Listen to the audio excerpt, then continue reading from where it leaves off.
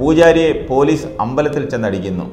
അവിടെ കൂടിയ ഭക്തജനങ്ങളെ അടിച്ചോടിക്കുന്നു. നിസ്കാരം നടത്താൻ മോസ്കിലേക്ക് പോയ ആളുകളെ വിരട്ടി ഓടിക്കുന്നു. ക്രിസ്ത്യൻ പള്ളികളിൽ കുർബാന നടത്തിയ അച്ഛനെയും അവിടെ കൂടിയ വിശ്വാസികളെയും അടിച്ചോടിക്കുന്നു. അവർക്കെതിരെ കേസെടുക്കുന്നു. ഇത് നമ്മുടെ നാട്ടിൽ കഴിഞ്ഞ കുറേ ദിവസങ്ങളായി നടക്കുന്ന സംഭവമാണ്. അമ്പലത്തിൽ പൂജ നടത്തിയ പൂജാരിയെ അറസ്റ്റ് ചെയ്തതും മോസ്കിൽ പ്രാർത്ഥന നടത്തിയ അല്ലെങ്കിൽ നിസ്കരിച്ച ആളുകളെ അടിച്ചോടിക്കുകയും പള്ളിയിൽ കുർബാന നടത്തിയ വികാരിയെയും അതിൽ പങ്കെടുത്ത വിശ്വാസികളെയും അറസ്റ്റ് ചെയ്യുന്നു. ഇത് മൂന്നും നടന്നത് നമ്മുടെ കൊച്ചു സാംസ്കാരിക കേരളത്തിലാണ്. ചെയ്യിച്ചതോ മനുഷ്യൻ കാണാത്ത കണ്ടിട്ടില്ലാത്ത ഒരു കൊച്ചു കൊറോണ എന്ന് എന്ന് പറയുന്ന വൈറസ്. ആ വൈറസ് മൂലമാണ് ഇതെല്ലാം സംഭവിച്ചത്. മതത്തെ ഭ്രാന്തമായ മതവികാരത്തെ പിടിച്ചുകെട്ടാൻ ഇവിടെ ഒരു നിയമത്തിനും സാധിച്ചില്ല. പക്ഷേ ഈ കൊച്ചു വൈറസിന് സാധിച്ചു ഈ മതത്തെ ഈ മതഭ്രാന്തിനെ പിടിച്ചു കെട്ടാൻ. സർക്കാർ വിലക്ക് ലംഘിച്ച് അമ്പലത്തിൽ കയറിയവരെയും മോസ്കിൽ കയറിയവരെയും പള്ളിയിൽ കയറിയവരെയുമാണ് പോലീസ് അടിച്ചോടിച്ചത് അല്ലെങ്കിൽ പോലീസ് അറസ്റ്റ് ചെയ്തത് അല്ലെങ്കിൽ പോലീസ് അവർക്കെതിരെ കേസെടുത്തത്. ഈ മൂന്ന് സംഭവങ്ങൾ നടന്നിട്ടും നമ്മുടെ നാട്ടിൽ ഒരു വർഗീയതകളെയും നടന്നില്ല. അമ്പലത്തിലും മോസ്കിലും പള്ളിയിലുമൊക്കെ പോലീസ് കയറിയപ്പോൾ ആ പോലീസുകാരുടെ ജാതി ഏതെന്നോ മതമേതെന്നോ ആരും നോക്കിയില്ല ആരും ചോദിച്ചില്ല. അവർ നടപടിയെടുത്തു അവരടിച്ചോടിച്ചു അത് നല്ലതെന്ന് എല്ലാവരും പറഞ്ഞുള്ളൂ. അത് നന്നായി. ഒരുപാട് ലഹളകൾ നടക്കും നടക്കുന്നതിന് മുമ്പ് നമ്മുടെ കേരളത്തിൽ ഉൾപ്പെടെ രാജ്യത്ത് ഒരുപാട് ലഹളകൾ നടന്നു. ആ ലഹളകൾ നടക്കുന്നതിന് മുമ്പ് നമുക്ക് ഒന്ന് ചിന്തിച്ചിരുന്നുവെങ്കിൽ ആ ലഹള നടത്തുന്നവർ അല്ലെങ്കിൽ അതിനുവേണ്ടി മുതിരുന്നവർ ഒന്ന് ചിന്തിച്ചിരുന്നുവെങ്കിൽ ഇതൊന്നും നടക്കില്ല. നിയമം എല്ലാവർക്കും ഒരുപോലെയാണ്. നിയമം ഒരാൾക്ക് വേണ്ടി മാത്രമല്ല രാജ്യത്തെ എല്ലാവർക്കും ഒരുപോലെയാണ്. നാം എല്ലാം സഹോദരി സഹോദരങ്ങളാണ്. ആ നിയമം ആരും കയ്യിലെടുക്കാൻ പാടില്ല എന്നൊന്ന് ചിന്തിച്ചിരുന്നുവെങ്കിൽ ഈ ലഹളകൾ നടക്കില്ലായിരുന്നു ഈ പ്രശ്നങ്ങളൊന്നും നടക്കില്ലായിരുന്നു. എല്ലാം നിയമത്തിന്റെ വഴിയിൽ നിയമത്തിന് വിട്ടുകൊടുക്കുകയാണെങ്കിൽ ഈ രാജ്യത്ത് ഒരു പ്രശ്നങ്ങളും ഉണ്ടാവുകയില്ല. അത് ഉറപ്പിച്ച് തന്നെ പറയാം. അങ്ങനെയാണെങ്കിൽ നമ്മുടെ നാട്ടിൽ വർഗീയ ലഹളകൾ നടക്കുമോ? ഹിന്ദു മുസ്ലിം വർഗീയ ലഹളകൾ നടക്കുമോ? ക്രിസ്ത്യൻ പള്ളികൾ തമ്മിൽ പിടിച്ചടക്കുന്നത് നടക്കുമോ? ഒന്നും നടക്കില്ല. എല്ലാം നിയമത്തിന്റെ വഴിയെ വിട്ടാൽ എല്ലാം സമാധാനം. ഇപ്പോൾ ആർക്കും ഒരു ലഹളയുമില്ല. ഒരു പള്ളിയും പിടിച്ചടക്കണ്ട. ഒരു പട്ടക്കാരനെ അടിക്കണ്ട. ഒരു വിശ്വാസിയെ അടിച്ചോടിക്കണ്ട. ആർക്കും ഒന്നും വേണ്ട. എല്ലാവർക്കും സ്വന്തം ജീവൻ മാത്രം മതി. ക്രിസ്ത്യനായാലും ഹിന്ദുവായാലും മുസ്ലിം ആയാലും എല്ലാവരും ഒരുപോലെ. അവർക്ക് അവരവരുടെ കാര്യം മാത്രം.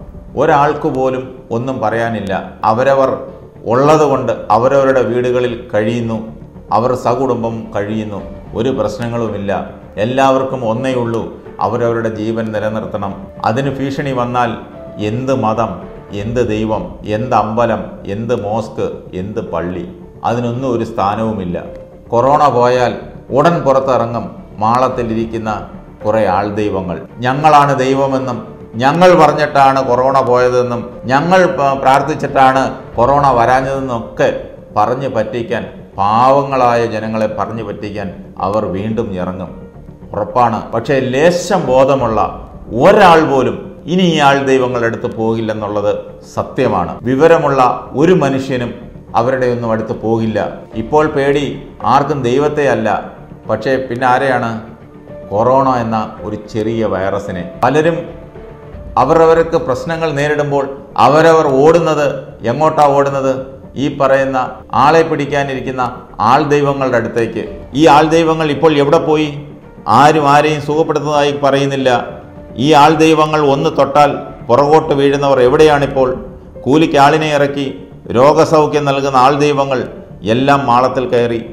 ഇന്ത്യയിലെ ഏറ്റവും വലിയ ആൾ ദൈവമായ മാതാ അമൃതാനന്ദമയി പോലും ഒരറിയിപ്പുണ്ടാകുന്നതുവരെ ദർശനവും ആലിംഗനവും നിർത്തി പല സ്ഥലങ്ങളിലും രോഗികളെ നേരിട്ടും ടി വിയിലൂടെയും ഫോണിലൂടെയും സൗഖ്യമാക്കുന്ന ആൾ ദൈവങ്ങളുണ്ട്.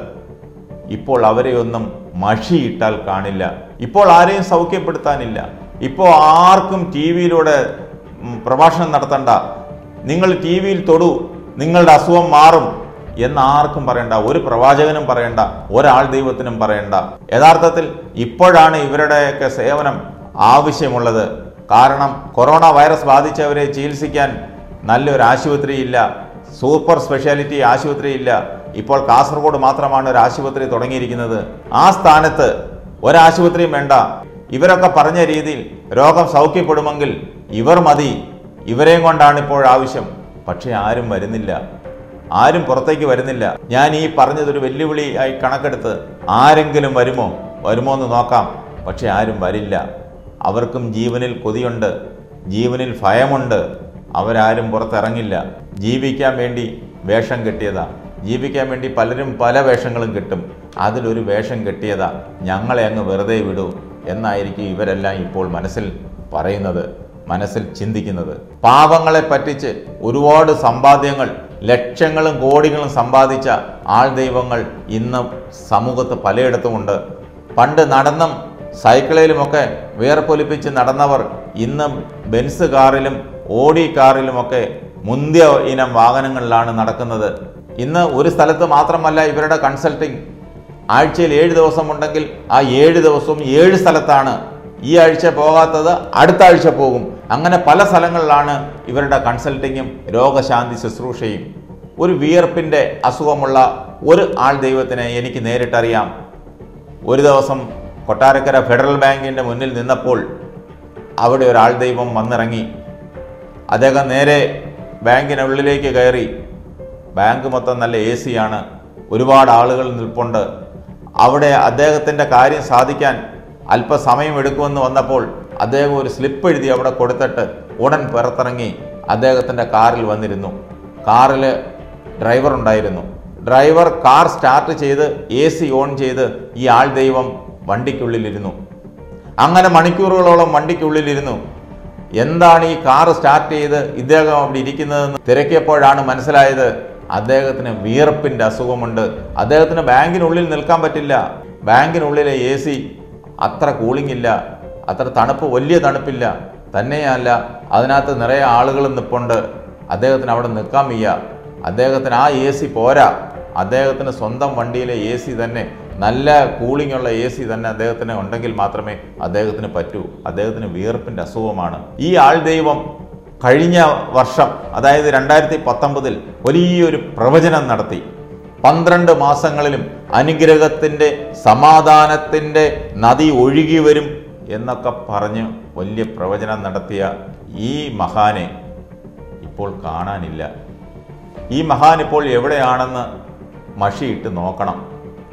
അദ്ദേഹം പറഞ്ഞ സമാധാനത്തിന്റെയും ഐശ്വര്യത്തിന്റെയും വഴി കൊറോണയാണെന്ന് ഇപ്പോഴാണ് ആളുകൾക്ക് മനസ്സിലായത്. ആ പ്രവാചനെ ഇപ്പം കൊട്ടാരക്കരയിൽ കാണാനില്ല. അദ്ദേഹം എവിടെയാണെന്ന് പോലും ആൾക്കാർക്ക് അറിയില്ല. ആളുകൾ തപ്പി നടക്കുക. അദ്ദേഹത്തിനെ ഒന്ന് നേരിട്ട് കണ്ട് സാഷ്ടാംഗം വീണ് ഒരനുഗ്രഹം മേടിക്കാൻ. ഇതുപോലുള്ള പ്രവാചകന്മാരും ഇതുപോലുള്ള ആൾ ദൈവങ്ങളാണ് നമുക്കിടയിലുള്ളത്. ഇനിയെങ്കിലും ഇവരുടെ അടുത്തെങ്ങും പോയി രോഗശാന്തി ശുശ്രൂഷയ്ക്കോ അല്ലെങ്കിൽ മറ്റ് കാര്യം സാധിക്കാനോ ഒന്നും ഇവരുടെ അടുത്തെങ്ങും പോകാതിരുന്നാൽ അവരവർക്ക് കൊള്ളാം. രോഗം വന്നാൽ അതിന് ചികിത്സിക്കണം. നല്ല ആശുപത്രിയിൽ പോകണം. സർക്കാർ ആശുപത്രികളെല്ലാം ഇപ്പോൾ സൂപ്പർ സ്പെഷ്യാലിറ്റി ആശുപത്രിയെ പോലെയാണ്. ഏറ്റവും നല്ല ഡോക്ടർമാർ വിദഗ്ധരായ ഡോക്ടർമാരാണ് അവിടെ ചികിത്സിക്കുന്നത്. അവരെ കണ്ട് ചികിത്സ നേടിയാൽ ഈ രോഗമെല്ലാം മാറും. അല്ലാതെ ഒരാൾ ദൈവം തൊട്ടാലും ഒരാൾ ദൈവം തൊട്ട് പ്രാർത്ഥിച്ചാലും അസുഖം പ്രാർത്ഥിക്കണം. പ്രാർത്ഥിക്കേണ്ട എന്നുള്ള അല്ല പ്രാർത്ഥിക്കണം. പക്ഷേ ഇവരൊന്നും തൊട്ടാൽ അസുഖം മാറില്ല. നമ്മൾ കാണുമ്പോൾ രോഗികൾ പുറകോട്ട് മറിഞ്ഞു വീഴുന്നത് അത് പെയ്ഡ് രോഗികളാണ്. ശമ്പളത്തിന് കൂലിക്ക് ആളിനെ എടുത്ത് കൊണ്ടുവന്ന് രോഗികളായി അഭിനയിക്കുന്നവരാണ്. അവരുടെ അസുഖമാണ് ഭേദമാകുന്നത്. അല്ലാതെ യഥാർത്ഥ ഒരു അസുഖമായി ഇവരുടെ അടുത്ത് ചെന്നാൽ അതൊരിക്കലും ഭേദമാവില്ല. തറപ്പിച്ച് പറയാം. ഇന്ന് കേരളത്തിലെ ആൾ ദൈവങ്ങളുടെ എല്ലാം പക്കൽ ലക്ഷങ്ങളുടെയും കോടികളുടെയും സമ്പാദ്യം കുമിഞ്ഞുകൂടി കിടപ്പുണ്ട്. അവയെല്ലാം തന്നെ നാം ഓരോരുത്തരും നമ്മുടെ മുൻ തലമുറകളിലുള്ളവരും നൽകിയവയോ നമ്മിൽ നിന്ന് കബളിപ്പിച്ച് വാങ്ങിയവയോ തന്നെയാണ്. അല്ലാതെ ദൈവങ്ങൾ മുകളിൽ നിന്ന് ഇട്ടുകൊടുത്തവയല്ല ഇവരുടെ എല്ലാം കയ്യിൽ അത്യാഡംബര കാറുകൾ തുടങ്ങിയ സ്വത്തുക്കളുണ്ട്. അവയെല്ലാം തന്നെ നമ്മുടെയൊക്കെ ദൈവത്തോടുള്ള സ്നേഹ ബഹുമാനങ്ങളെ ചൂഷണം ചെയ്ത് ഉണ്ടാക്കിയവ തന്നെയാണ് ഇതൊരു ബിസിനസ്സാണ്. ഒരു വിയർപ്പും ഒഴുക്കാതെ നടത്തുന്ന ഒരു ബിസിനസ്. ഇനി ഈ ആൾ ദൈവങ്ങളോട് ഒരു ചെറിയൊരു അഭ്യർത്ഥന. നാളെയും വിശ്വാസികൾ ജീവിച്ചിരുന്നാലേ നിങ്ങളെ തേടി എത്തത്തുള്ളൂ. നിങ്ങളുടെ ഭണ്ഡാരങ്ങൾ നിറയ്ക്കാൻ പറ്റത്തുള്ളൂ എന്നതുകൊണ്ട് ഇപ്പോൾ നിങ്ങളുടെ ഭണ്ഡാരത്തിലുള്ള അല്ലെങ്കിൽ നിങ്ങളുടെ പക്കലുള്ള നിലവറകളൊക്കെ ഒന്ന് തുറന്ന് അതിലുള്ള സമ്പാദ്യങ്ങളെടുത്ത് നിങ്ങളുടെ അടുത്ത് വന്നുകൊണ്ടിരുന്ന വിശ്വാസികളെ അല്ലെങ്കിൽ വന്നുകൊണ്ടിരുന്നവരുടെ ക്ഷേമം അന്വേഷിച്ച് പട്ടിണിയിലാണെങ്കിൽ അവർക്ക് വേണ്ടത് കൊടുത്ത് ഒരു നേരത്തെ ആഹാരമെങ്കിലും കൊടുക്കാൻ പറ്റിയാൽ നിങ്ങളാണ് ഏറ്റവും വലിയ പുണ്യാളൻ. നിങ്ങളുടെ ഭക്തരെ പട്ടിണിയിൽ നിന്ന് രക്ഷിക്കാൻ ഇതേ ഉള്ളൊരു മാർഗം. ഈ മാർഗം നിങ്ങൾ അവലംബിച്ചാൽ ഇനിയും നിങ്ങളെ തേടി ഭക്തരെത്തും. നിങ്ങളുടെ ഭണ്ഡാരങ്ങൾ ഇപ്പോൾ ചെലവാക്കുന്നതിന് ഇരട്ടിക്കിരട്ടി നിങ്ങളുടെ ഭണ്ഡാരങ്ങൾ നിറയും. അങ്ങനെയൊക്കെയല്ലേ അവരുടെ ദൈവം കരുണാമയനും അലിവുള്ളവനും തങ്ങളെ ആശ്രയിക്കുന്നവരെ താങ്ങുന്നവനുമാണെന്നുള്ള വിശ്വാസം അവരിൽ ഉറക്കുകയുള്ളൂ. ഇനിയെങ്കിലും നിങ്ങളൊന്ന് ഭൂമിയിലേക്ക് ഇറങ്ങി വന്ന് നിങ്ങൾ ആകാശത്ത് നിൽക്കാതെ നിങ്ങൾ ശൂന്യതയിൽ നിൽക്കാതെ നിങ്ങൾ അന്തരീക്ഷത്തിൽ നിൽക്കാതെ നിങ്ങൾ താഴേക്ക് ഇറങ്ങി വന്ന് അവരോടൊപ്പം അവരുടെ ക്ഷേമം അന്വേഷിച്ച് അവർ പട്ടിണിയാണെങ്കിൽ നിങ്ങളുടെ ഭണ്ഡാരത്തിൽ നിന്ന് എടുത്ത് അവർക്ക് കൊടുക്കാനുള്ള മനസ്സ് കാണിക്കണം. ഇതൊരപേക്ഷയാണ്.